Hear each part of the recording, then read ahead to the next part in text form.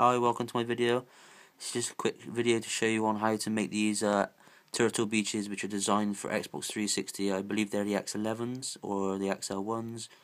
Um, to show you how to use them for Xbox 360 onto a PC or a laptop for online cheap headphones.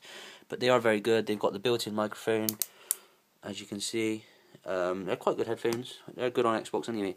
Anyway, this is a quick video uh, as you can see on these, you've got your power, you've got your chat, you've got your game, uh, you've got your power indication. On here, this is where you plug in this, which goes onto there, and then the other end goes into the microphone on the Xbox, which allows you to talk. You've got your USB power output, which goes into the back of the Xbox or USB, uh, and you've got your audio. So this is the problem you need to bypass.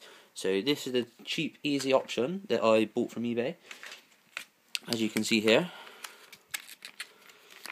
So this is the two pieces I bought. The microphone uh, adjust adapter and these uh, audio adapters. So I'll show you how quickly you can do this if I can with one hand.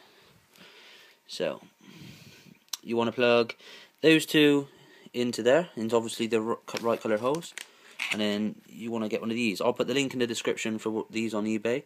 These are really cheap. It's really cheap and simple, and for the price that it costs to get these, to use them on a computer, it's a really cheap headset. Right, so you want to go to get your um, get your mic output, and you want to plug it into the end of there. Um, I'll be back in a second when I've done it.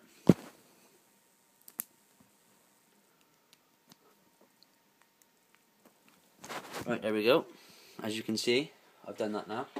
So I'll go on to the computer and show you how to plug that in and yeah right so you want to plug that into your amplifier or whatever you want to call that right let's move that out of the way so you want to plug your USB in to any USB port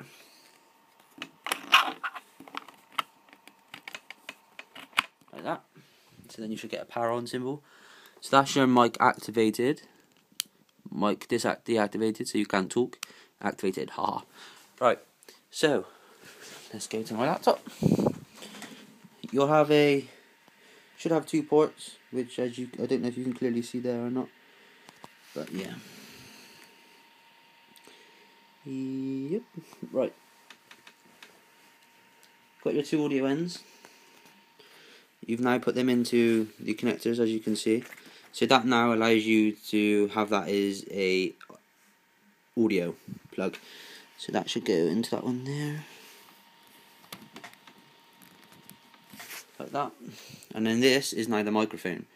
This adapter. So then you can put that into the microphone hole. Right, so now they will work. So now you can use these on the PC. So there you go, guys. This is just a quick video. Um, comment, like, subscribe if you uh, thought it was helpful. Cheers. Thank you. Bye.